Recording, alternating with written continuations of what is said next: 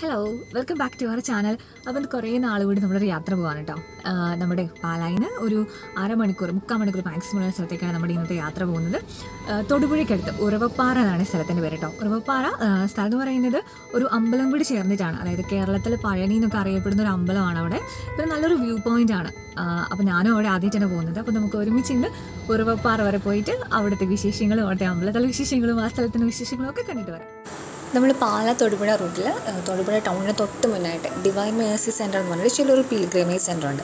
അപ്പോൾ അവിടെ നിന്നാണ് കേട്ടോ നമ്മൾ തിരിയേണ്ടത്. ആ സെയിം റൂട്ടിൽ കൂടിയാണ് നമ്മൾ ഉറവപ്പാറയ്ക്ക് പോകുന്നത്. മെയിൻ റോഡൊന്നുമല്ല ഈ വീടുകളിലെ പടമ്പുകളുടെയൊക്കെ ഇടയ്ക്കൂടെ പോകുന്ന നല്ലൊരു ടാർ റോഡാണ്. നമുക്ക് വഴി കുറച്ച് മുന്നോട്ട് നീങ്ങുമ്പോൾ തന്നെ നമുക്ക് ആ ഉറവപ്പാറ വിസിബിൾ ആയി തുടങ്ങും കേട്ടോ. കാരണം നല്ലൊരു വലിയ നീളത്തിലുള്ളൊരു പാറയാണ്. അപ്പോൾ അത് നമുക്ക് പെട്ടെന്ന് തന്നെ വിസിബിൾ ആയി തുടങ്ങും. അപ്പോൾ അതിന് താഴാരത്ത് തന്നെ നമുക്ക് വണ്ടി പാർക്ക് ചെയ്യാനുള്ള സൗകര്യമുണ്ട്. അപ്പോൾ നമ്മൾ വണ്ടി പാർക്ക് ചെയ്തു. ഇനി നമുക്ക് കുറച്ചധികം നടന്ന് കയറാനുണ്ട് കേട്ടോ. ഇനി അങ്ങോട്ട് വണ്ടി കയറ്റിക്കൊണ്ട് പോകാൻ പാടാണ്. വണ്ടി കയറി ചെല്ലുന്ന സ്ഥലം കുറച്ചും കൂടി ഉണ്ട്. പക്ഷേ പിന്നെ നമുക്കിവിടെ പാർക്കിംഗ് പ്രശ്നമായതുകൊണ്ട് നമ്മൾ അങ്ങോട്ടേക്ക് ഇതാവുന്നില്ല. നമ്മൾ ഇവിടെ എത്തിയിട്ട് നടക്കുവാണ് മുകളിലോട്ട്. അങ്ങനെ നമുക്ക് എപ്പോഴും മലയൊക്കെ കയറുമ്പോൾ അതല്ലേ കുറച്ചുകൂടി ഒരു രസം. അപ്പോൾ നമ്മൾ നടന്ന് കയറിയേക്കാം ഈ കാണുന്ന കോൺക്രീറ്റ് റോഡിലാണ് കേട്ടോ നമ്മൾ നേരെ കയറുന്നത് ഉറവപ്പാറയിലേക്കാണ്. ആ, വീടുകളൊക്കെ ഉണ്ട് നമ്മൾ കയറുന്ന വഴിയിലൊക്കെ വീടുകളൊക്കെ ഉണ്ട്. പിന്നെ ഇതിന്റെ ഒരു മൂവി ലൊക്കേഷൻ കൂടിയാണ്. അതായത് നമ്മുടെ എ ബി സിനിമ ഉണ്ടല്ലോ. എ ബി സിനിമയിൽ കുറച്ച് പോർഷൻസ് ഒക്കെ ഷൂട്ട് ചെയ്തിരിക്കുന്നത് ഈ ഉറവപ്പാറ അതിന്റെ നല്ല അത് അതെ ഫ്രണ്ടിൽ ഫുൾ നല്ല പാറയാണ്. അത് ഒറ്റ പാറയായിട്ട് കുഞ്ഞു കുഞ്ഞു പാറകളല്ല ഒറ്റ പാറ നല്ല സ്ട്രെയിറ്റ് ആയിട്ട് ഇങ്ങനെ കട്ട് ചെയ്തിട്ടിരിക്കുന്ന പോലെ. അതിന് മുകളിലൊരു വീട്. ഇത് കണ്ടോ? കുഞ്ഞു ഓൽ പോലെ കണ്ടു. ഇതിലൊക്കെ ഇങ്ങനെ വെള്ളം ഒഴുകി. അത്യാവശ്യം നല്ല കയറ്റമാണ് കേട്ടോ.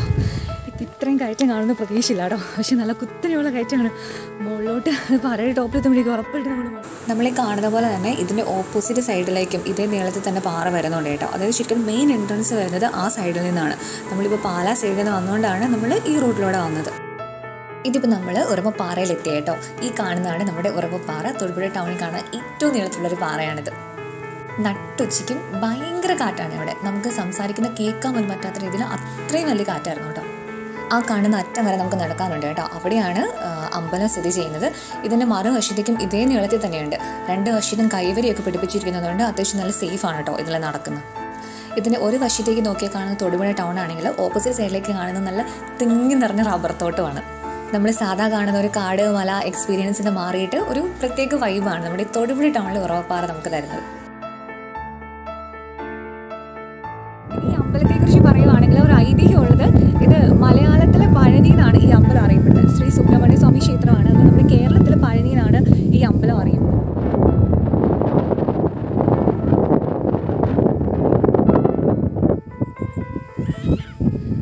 കേട്ടോ ബാക്കി കാണുന്ന ക്ഷേത്രം. അപ്പോൾ നമ്മൾ നടന്നുകൊണ്ടിരിക്കുകയാണ് കേട്ടോ ക്ഷേത്രത്തിലേക്ക്. നമുക്ക് ബാക്കി വിശേഷങ്ങളൊക്കെ ഇത് ഉറവപ്പാറയുടെ മുകളിൽ നിന്ന് നോക്കുമ്പോൾ കാണുന്ന തൊടുപുഴ ടൗണിന്റെ ഒരു ദൂര കാഴ്ചയാണ് കേട്ടോ. അത്യാവശ്യം ഫുൾ ഏരിയ തൊടുപുഴ ടൗണിന്റെ ഫുൾ ഏരിയ നമുക്കിവിടെ കവർ ചെയ്ത് കാണാൻ പറ്റും. നമ്മൾ ഹൈ റേഞ്ചിന്റെ കവാടെന്നാണ് നമ്മുടെ ടൗൺ അറിയപ്പെടുന്നത് തന്നെ. നമ്മൾ ഈ അമ്പലത്തിലേക്ക് നടക്കുന്ന വഴിക്കിനെ കാണുന്ന ഇൻട്രസ്റ്റിംഗ് ആയിട്ടുള്ളൊരു കാര്യമാണ്. ഭീമപാത തീർത്ഥക്കുളം. ഇത് മഹാഭാരതത്തിലെ ഐതിഹ്യമായിട്ട് കണക്റ്റഡ് ആയിട്ടുള്ളൊരു ചെറിയൊരു കുളമാണ് കേട്ടോ. ഇത് അവിടെ നാച്ചുറലായിട്ട് രൂപപ്പെട്ടതാണെന്നാണ് പറയുന്നത്. ഒരു കാൽപാദത്തിന്റെ രൂപമാണ് ഈ കുളത്തിനെന്നാണ് വിശ്വസിക്കപ്പെടുന്നത്. അപ്പോൾ നമ്മുടെ ഈ കാണുന്നതാണ് ഭീമപാത തീർത്ഥകുളം എന്ന് പറയുന്നത് കേട്ടോ. അത് ഇത് ഈ ക്ഷേത്രത്തിന്റെ കുളം കൂടിയാണ്. പിന്നെ ഇതിനൊരു പ്രത്യേകത എന്താണെന്ന് വെച്ച് കഴിഞ്ഞാൽ ഒരു വേനൽക്കാലത്തും ഇവിടെ പാറയുടെ മുകളിൽ ഒരു വേനൽക്കാലത്തും ഈ കുളം പറ്റില്ല എന്നാണ് പറയപ്പെടുന്നത്. പിന്നെ ഇതിനൊരു പേര് വരാനുള്ള ഒരു ഐതിഹ്യം എന്താണെന്ന് വെച്ച് കഴിഞ്ഞാൽ പഞ്ചപാണ്ഡവരെ അവരുടെ വനവാസ കാലത്ത് ഇവിടെ വന്നിരുന്നെന്നും ആ, സമയത്ത് അവർ ആഹാരം പാകം ചെയ്തിട്ട് നോക്കിയപ്പോൾ അവർക്ക് വെള്ളമൊന്നും കിട്ടിയില്ല. അപ്പോൾ ആ സാഹചര്യത്തിൽ ഭീമന് ദേഷ്യം വരെയും ഭീമൻ ഇങ്ങനെ പാറപ്പുറത്ത് ചവിട്ടുകയൊക്കെ ചെയ്തു. അപ്പോൾ അതിന്റെ ഫലമായിട്ട് ഇവിടെ പാറ പൊട്ടി അവിടെ ആ പാദത്തിന്റെ ഷേപ്പിൽ ചെറുതായിട്ടൊരു കുളം രൂപം കൊണ്ടു എന്നാണ് ഐതിഹ്യത്തിൽ പറയുന്നത്. അതുകൊണ്ടാണ് ഇതിന് ഭീമ പാത തീർത്തത്. മറ്റൊരു കാര്യം കേട്ടത് അതെനിക്ക് അറിയില്ല കേട്ടോ. എത്രത്തോളം സത്യമാണെന്നൊന്നും എനിക്കറിയില്ല. പക്ഷെ ഞാൻ കേട്ടത് ഈ കൊള്ളത്തിന് നമ്മൾ കുട്ടനാട് കുട്ടനാടുമായിട്ടൊരു കണക്ഷൻ ഉണ്ടെന്ന്. അതെന്താണെന്ന് വെച്ച് കഴിഞ്ഞാൽ കുട്ടനാടുമായിട്ടൊരു കണക്ഷൻ ഉണ്ട്. അതെന്താണെന്ന് വെച്ച് കഴിഞ്ഞാൽ കുട്ടനാട് പാടത്ത് വിതയ്ക്കുന്നതിന് മുന്നേ അവർ ഉഴുകുമല്ലോ നില ഉഴുന്ന സമയത്ത് ഈ കുളത്തിലെ വെള്ളവും ചെളി കലർന്നാവും എന്നാണ് പറയുന്നത് കലക്ക വെള്ളമായിത്തീരും അത്ര. അതെന്താണ് അതിന് കണക്ഷൻ എന്നറിയില്ല ആ, പക്ഷെ അങ്ങനെയും ചെറിയൊരു മിത്ത് ഇവിടെ പറഞ്ഞു വെച്ചിട്ടുണ്ട്. ഇവിടെ മാലിന്യങ്ങളൊന്നും ഇവിടെ വേസ്റ്റ് ഒന്നും ഇവിടെ ഇടുന്ന എഴുതിയിട്ടുണ്ട്. പക്ഷേ വരുന്നവർ എനിക്കറിയില്ല. അവരെന്താണ് ഇങ്ങനെ അത് ഇത്രയ്ക്കും നമ്മളൊരു അമ്പലം എന്നൊക്കെ പറയുമ്പോൾ കുറച്ചും കൂടെ പാവനമായിട്ട് കണക്കാക്കുന്ന സ്ഥലമാണ്. ആ അമ്പലക്കുളത്തിൽ പോലും ഇങ്ങനെ വേസ്റ്റൊക്കെ ഇടുന്ന ചിലപ്പോൾ ബിസ്ക്കറ്റിന്റെ കൂടെ ലൈസിന്റെ കൂടെ അങ്ങനെ പലതും ഉണ്ട്. എനിക്കറിയില്ല എന്താണ് ആൾക്കാർ ഇത്രയും കെയർലെസ് ആയിട്ട് ഇങ്ങനെയുള്ള സ്പോട്ടുകൾ ചെയ്യുന്നതെന്ന്.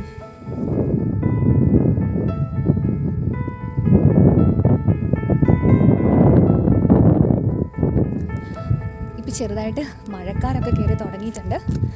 നമ്മൾ ഈ കാണുന്നതാണ് ശ്രീ സുബ്രഹ്മണ്യ സ്വാമി ക്ഷേത്രം. ഇതിപ്പോൾ അടച്ചിട്ടിരിക്കുകയാണ് കേട്ടോ. അമ്പലം അടച്ചിട്ടിരിക്കുകയാണ്. നമുക്ക് ഇതിന്റെ സൈഡിൽ കൂടെ നടന്ന് ചെല്ലുവാണെങ്കിൽ ഇതിന്റെ മെയിൻ എൻട്രൻസിലേക്ക് നമുക്ക് ചെല്ലാം. ഈ ഒരു വ്യൂ എന്ന് പറയുന്നത് നമ്മൾ ഇൻസ്റ്റാഗ്രാമിൽ ചില പാലക്കാടൻ അമ്പലങ്ങളുടെ കാഴ്ച കാണാറില്ലേ? മലമുകളിൽ ഒരാളും അതിലൊരു അമ്പലമൊക്കെ പറഞ്ഞിട്ട്. അപ്പോൾ ആ ഒരു വൈബാണ് കേട്ടോ ഇതും. അമ്പലത്തിന്റെ ആ ഒരു മെയിൻ എൻട്രൻസ് എന്ന് പറയുന്ന ഇതാണ്. ഇത് നമ്മൾ നമ്മളിപ്പോൾ വന്ന റൂട്ടിലാണെങ്കിൽ നേരെ തന്നെ ബാക്ക് സൈഡിലേക്ക് വരുമ്പോൾ നമുക്ക് ഇങ്ങനെ ഒരു എൻട്രൻസ് കാണാൻ പറ്റത്തുള്ളൂ. ഇതിനോട് ചേർന്ന് തന്നെ ഒരു അമ്പലക്കുളം കൂടിയുണ്ട് കേട്ടോ. താമരയും ആമ്പലൊക്കെ കൂട്ടിയുള്ള ഒരു അമ്പലക്കുളമാണ്. നല്ല വൃത്തിയായിട്ട് സൂക്ഷിച്ചിരിക്കുന്ന ഒരു അമ്പലക്കുളം കൂടിയാണ് കേട്ടോ. അതിന് സൈഡിൽ നമുക്ക് നടപ്പാത പോലെ കെട്ടി വെച്ചിട്ടുണ്ട്. നല്ല ആഴമുള്ളതായതുകൊണ്ട് നമുക്ക് പ്രത്യേകം അവിടെ എഴുതിയും വെച്ചിട്ടുണ്ട്.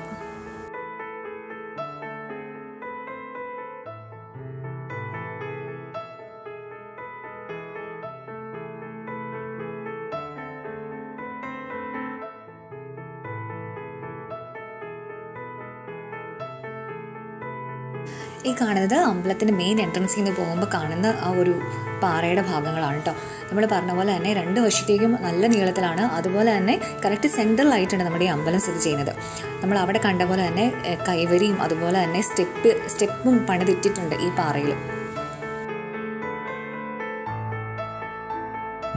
അപ്പോൾ നമ്മുടെ ഇന്നത്തെ ഈ കുട്ടി വ്ളോഗ് നമ്മളിവിടെ വൈൻഡപ്പ് ചെയ്യാറുണ്ട് അപ്പോൾ നമ്മൾ പറഞ്ഞത് ഒത്തിരി വലിയ സ്ഥലമൊന്നുമല്ല. നമ്മൾ ഈ തൊടുപുഴ അടുത്തുള്ളവർക്ക് അതുപോലെ നമ്മുടെ പാല ഏരിയയിലൊക്കെ നിൽക്കുന്നവർക്ക് ഒരു അരമണിക്കൂറുണ്ട് അല്ലെങ്കിൽ മുക്കാൽ മണിക്കൂറുണ്ട്. ഒരു ഈവനിങ് ടൈം അല്ലെങ്കിൽ ഒരു മോർണിംഗ് ടൈമിലൊക്കെ ഒന്ന് സ്പെൻഡ് ചെയ്യാൻ പറ്റും ഒരു കുഞ്ഞു സ്ഥലമാണ്. നമുക്ക് വന്ന് പ്രാർത്ഥിക്കുന്നവർക്ക് കൂടെ പ്രാർത്ഥിക്കാനും പറ്റും. അങ്ങനെ എല്ലാം കൊണ്ട് നല്ലൊരു കാമാൻ കോയിൽ തുറവപ്പാറ എന്ന് പറയുന്നത്. അപ്പോൾ ഇതുവരെ വന്നിട്ടില്ലാത്തവർ ഇവിടെ എക്സ്പ്ലോർ ചെയ്തിട്ടില്ലാത്തവർ ഉറപ്പായിട്ട് ഇവിടേക്ക് വരിക. നമ്മുടെ ഈ തൊടുപുഴ ടൗണിന്റെ ഭാഗമൊക്കെ ഒന്ന് ആസ്വദിച്ച് എന്താ പറയുക നമ്മുടെ ഫ്രണ്ട്സിനോട് ഫാമിലിയോടെ കൂടി കുറച്ച് ഈ കുഞ്ഞു ബ്ലോഗ് ഇഷ്ടപ്പെട്ടിട്ടുണ്ടെങ്കിൽ നമ്മുടെ വീഡിയോ ഒന്ന് ലൈക്ക് ചെയ്തേക്കുക ഷെയർ ചെയ്തേക്കുക നമ്മുടെ ചാനൽ ആദ്യമായിട്ട് കാണുന്നവരാണെങ്കിൽ നമ്മുടെ ചാനൽ സബ്സ്ക്രൈബ് ചെയ്തേക്കുക താങ്ക്